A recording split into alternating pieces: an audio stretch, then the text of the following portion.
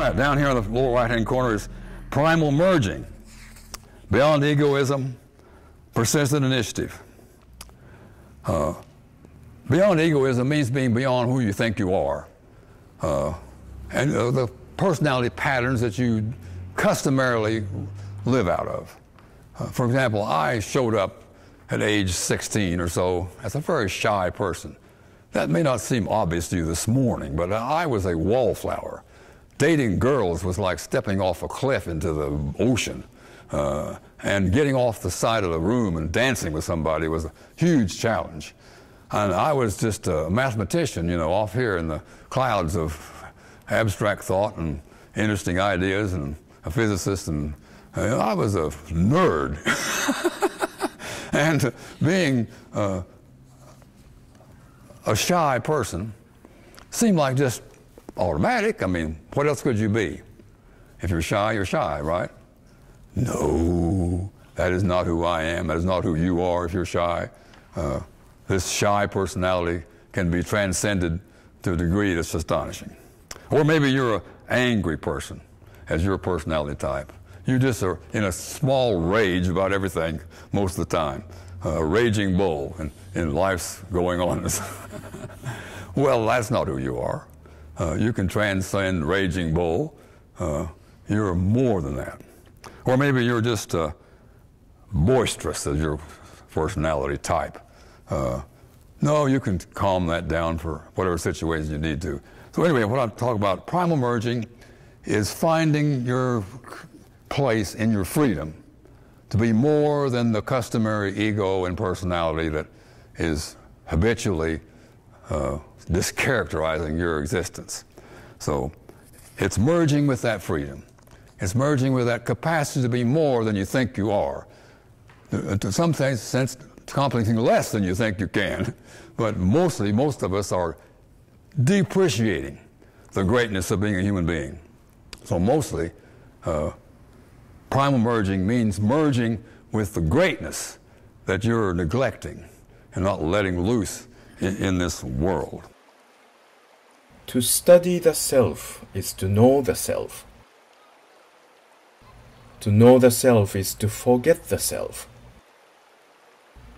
To forget the self is to be intimate with all things.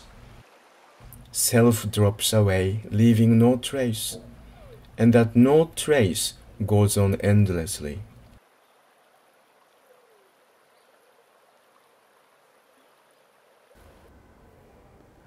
If you want to follow Christ, the big fish, learn to drown. Not just surrender a little, that means to let the water take care of you. But this is a deeper step. It is allowing the water to drown us, to kill us. To breathe under the water means to breathe death. It means to live in an alternative way of life. It is a new mode of surviving breathing water instead of air. Now, death is the mode of survival. Drown. This is the baptismal imperative. There must come within us a dispossession of the self. The extraordinary experience of dying must become the ordinary experience of living. The quote just read was certainly a way into understanding St. Paul who says that when you were baptized, you, you were buried with Christ and you were buried into his death. And I really do think that this buried into the death of Christ is the buried into dying to what Jesus says if you want to find yourself, you got to lose yourself. It's, that, it's the self you got to lose that dies. And the self you got to lose that dies ain't the self that you think you are when you think of who you think you are. that's, the, that's simply the conscious egoic self, the ego self that we have. But when Phil becomes aware that he's aware, he's aware there's something else besides the ego self in Phil. He realizes there's something else. He becomes consciously conscious. And I, I think that what that passage is suggesting is that that is really a transformation of consciousness. It's actually a new state of being conscious. You're no longer conscious simply from this egoic, egocentric place. Consciousness expands, and you find that you're conscious now of something, of you're conscious that I am more than simply my thoughts. I am more than my memories. I am more than my history. I am something, there's something else going on in consciousness than simply what I thought was going on or what I wasn't paying attention to what was happening. Something else is happening here. Right? That's why I get this. So I think this is the mystical death that that passage was speaking of, the mystical death to the point where Paul says it's no longer I who live, but Christ who lives. And if Christ is living in me, then who's living? Huh. Because then, if Christ is living in me, who's living, then who dies? Because maybe what I think survives after death is simply, this, is simply the self that's got to die before I die. so that when I die, there's not much left of this who I think I am dying, and it is Christ then who lives.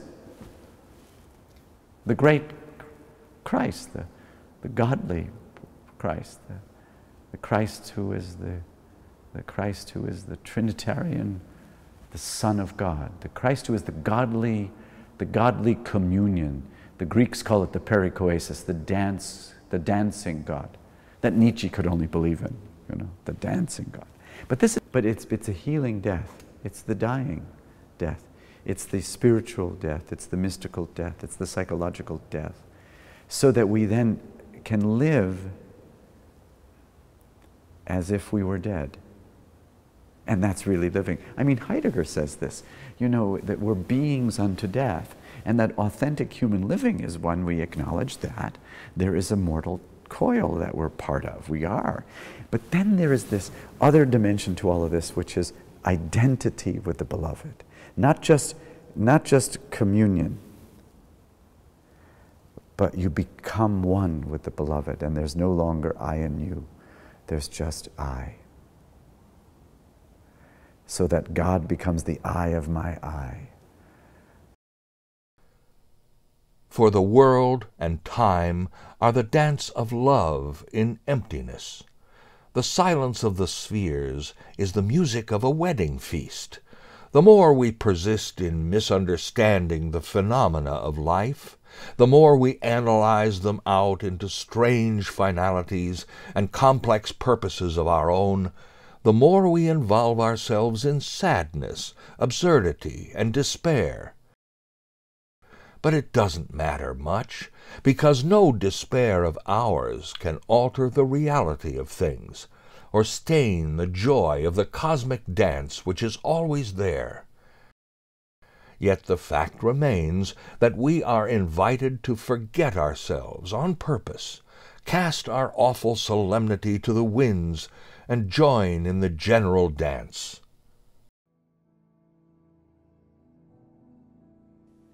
Am I dancing the dance of my life, a dance of love in emptiness?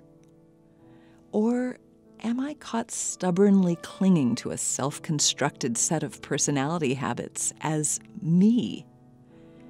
With fear and fascination, this transformation of consciousness, this losing myself to somehow discover my essential reality, is calling me. Let's go deeper. Let's let go and surrender to a deeper flow.